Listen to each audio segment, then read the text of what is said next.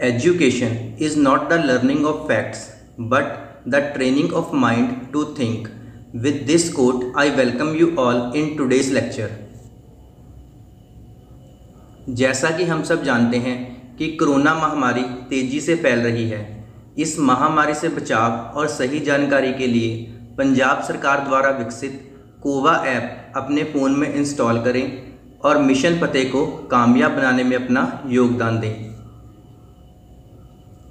खुद को इस महामारी से बचाने के लिए हमेशा ही कुछ नियमों का पालन करें, जैसे मास्क पहने और हाथों को साबुन या सैनिटाइज़र से साफ़ रखें। हाथ मिलाने और आँख, नाक, मुँह को छूने से परहेज करें। लोगों में ज्ञान और जागरूकता फैलाएँ। सोशल डिस्टेंसिंग का पालन करें। In today's lecture we will continue chapter two that is linear measurements आज के लेक्चर में हम स्टडी करेंगे vernier caliper vernier height gauge vernier depth gauge इन तीनों इंस्ट्रूमेंट्स का वर्किंग प्रिंसिपल लीस्ट काउंट और रीडिंग फाइंड आउट करने का मेथड सेम है. अब हम सबसे पहले इनका वर्किंग प्रिंसिपल स्टडी करेंगे. इन तीनों इंस्ट्रूमेंट्स का वर्किंग प्रिंसिपल दो स्केल्स या डिविजन्स जो कि नियरली इक्वल हैं, पर एग्जैक्टली इक्वल नहीं है, पर बेस्ड है। इन दोनों स्केल्स में से एक स्केल मेन स्केल जबकि दूसरा स्केल वर्नियर स्केल होता है। Next is least count main scale division value और वर्नियर स्केल डिवीज़न वैल्यू के डिफरेंस को लीस्ट काउंट कहते हैं। अब हम लीस्ट काउंट फाइंड आउट करना सीखेंगे। Least count is equal to main scale division value minus vernier scale division value vernier scale division value की जगह हम वन डी लिखेंगे। अब हम ये देखेंगे कि one vernier scale division approximately कितनी मेन स्केल डिवीज़न के बराबर है। इस डायग्राम में हम देख सकते हैं कि one vernier scale division approximately two main scale division के बराबर है। इसलिए हम मेन स्केल डिवीज़न की जगह टू एम लिखेंगे। अगर एक वर्नियर स्केल डिवीज़न एक मेन स्केल डिवीज़न के बराबर होती तो हम main scale division value one लिखते। और अगर एक vernier scale division five main scale division के बराबर होती तो फिर हम यहाँ फाइव एम लिखते। क्योंकि इस केस में एक वर्नियर स्केल डिवीज़न अप्रॉक्सीमेटली दो मेन स्केल डिवीज़न के बराबर है, इसलिए हम यहाँ टू एम लिखेंगे। अब इन दोनों में से एक MSD और दूसरा VSD है। इसलिए पहले हम दोनों को MSD यानी मेन स्केल डिवीज़न में कन्वर्ट करेंगे। इस डायग्राम में वर्नियर स्केल के ऊपर टोटल टेन मार्क्स हैं और हर एक मार्क के अंदर दो डिविजन्स हैं। इस तरह से वर्नियर स्केल के ऊपर टोटल ट्वेंटी डिविजन्स हैं। वर्नियर स्केल के ऊपर ये ट्वेंटी डिविजन्स मेन स्केल की थर्टी नाइन डिविजन्स के बराबर हैं। That is twenty vernier scale division is equal to thirty nine main scale division.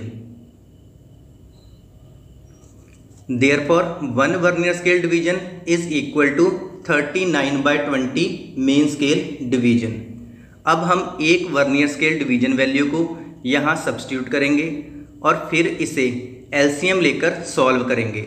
Solve करने के बाद इसकी लीस्ट काउंट 0.05 mm आएगी। नेक्स्ट हम इनकी रीडिंग फाइंड आउट करना सीखेंगे। Final reading is equal to main scale reading plus least count into vernier scale reading इस डायग्राम में थ्री का मतलब थ्री सेंटीमीटर या थर्टी एम mm और फोर का मतलब फोर सेंटीमीटर या फोर्टी एम mm है।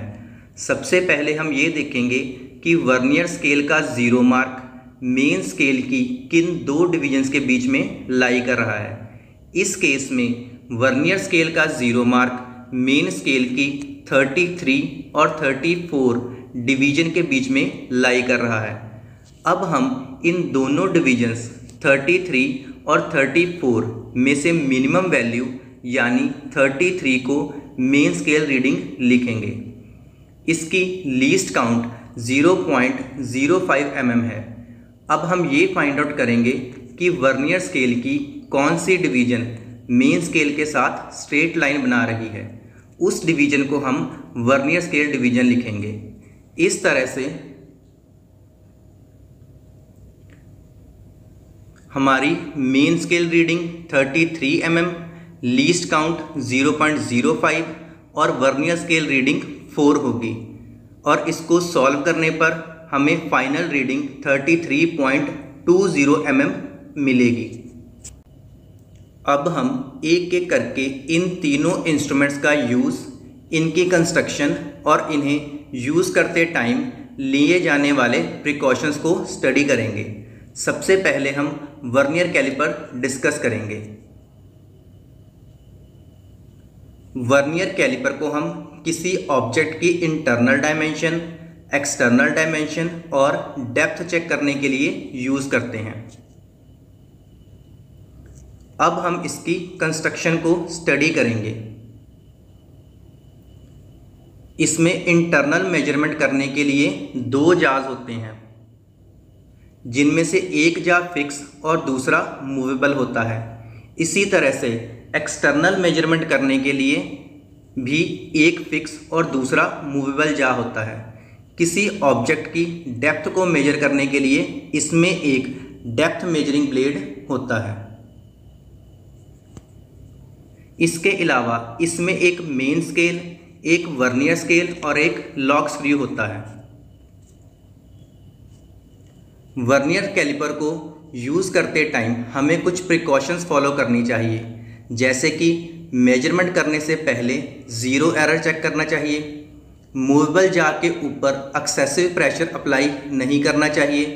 रीडिंग लेने से पहले मूवेबल या स्लाइडिंग जा को लॉक कर देना चाहिए। वर्नियर कैलिपर को रेंच या हैमर की तरह यूज़ नहीं करना चाहिए।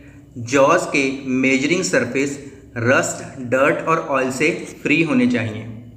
Next is vernier height gauge.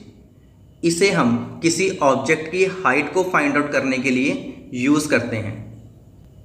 अब हम इसकी कंस्ट्रक्शन को डिस्कस करेंगे। इसमें एक परफेक्टली फ्लैट बेस होता है। जो बाकी सारे पार्ट्स को सपोर्ट करता है।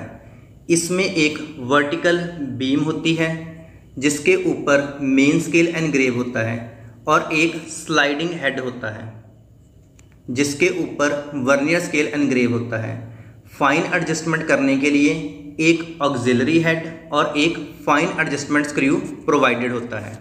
इसके अलावा मेज़रमेंट करने के लिए एक मेजरिंग जा और स्क्राइबर और स्लाइडिंग हेड और ऑक्सिलरी हेड को क्लैंप करने के लिए दो लॉकिंग स्क्रू होते हैं।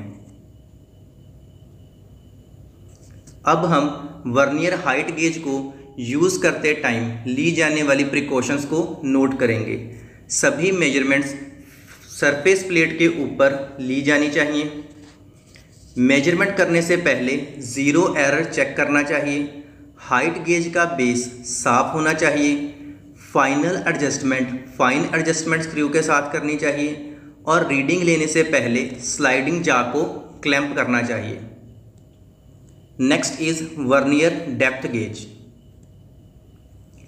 इस इंस्ट्रूमेंट को हम किसी ऑब्जेक्ट या स्लॉट की डेप्थ चेक करने के लिए यूज़ करते हैं। अब हम वर्नियर डेप्थ गेज की कंस्ट्रक्शन को स्टडी करेंगे। इसमें एक परफेक्टली फ्लैट बेस होता है, जो एक रेफरेंस सरफेस की तरह एक्ट करता है। मेन स्केल बीम के ऊपर, जबकि वर्नियर स्केल स्लाइडिंग हेड के ऊपर एनग्रेव होता है। इसके अलावा इसमें फाइन एडजस्टमेंट के लिए ऑक्सिलरी हेड और फाइन एडजस्टमेंट स्क्रू और साथ में क्लैंपिंग के लिए क्लैंपिंग स्क्रू प्रोवाइडेड होते हैं। इस इंस्ट्रूमेंट को यूज़ करते टाइम हमें फॉलोइंग प्रिकॉशंस ऑब्ज़र्व करनी चाहिए। रेफरेंस सरफेस परफेक्टली फ्लैट होना चाहिए। मेजरिंग फेस डस्ट और डर्ट से फ्री होना चाहिए।